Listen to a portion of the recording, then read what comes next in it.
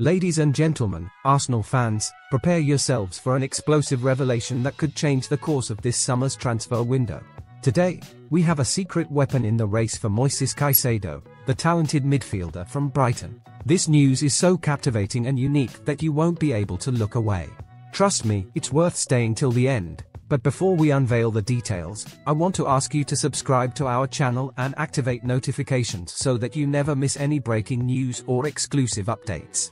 And don't forget to share this video with your fellow Arsenal supporters to ensure they are in the know. Now, let's dive into the thrilling world of Arsenal's transfer dealings. In recent times, both Arsenal and Chelsea have shown significant interest in the bright star, Moises Caicedo, from Brighton.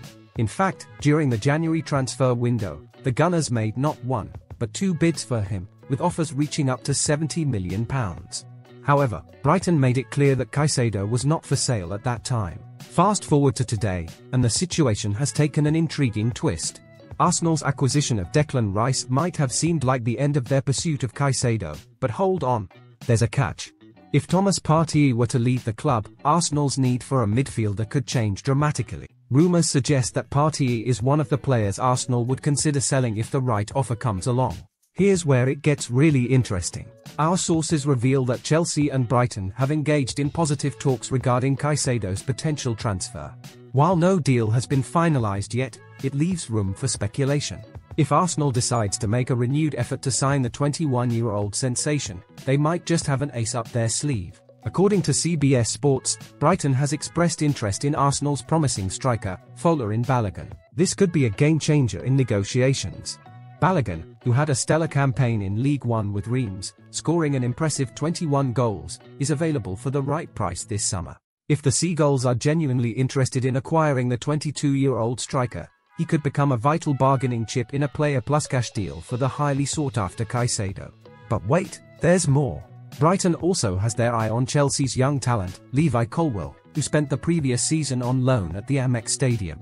Unlike Arsenal's situation with Balogun, Chelsea is not currently entertaining offers for the 20-year-old defender. Now, my fellow Arsenal enthusiasts, I'm eager to hear your opinions on this potential transfer saga. Do you believe Caicedo would be a valuable addition to the squad? And what are your thoughts on the possibility of including Balogun in a player exchange deal? Share your insights in the comments below. As we conclude this captivating video, I urge you once again to subscribe to our channel, activate notifications, and spread the word among your fellow Gunners.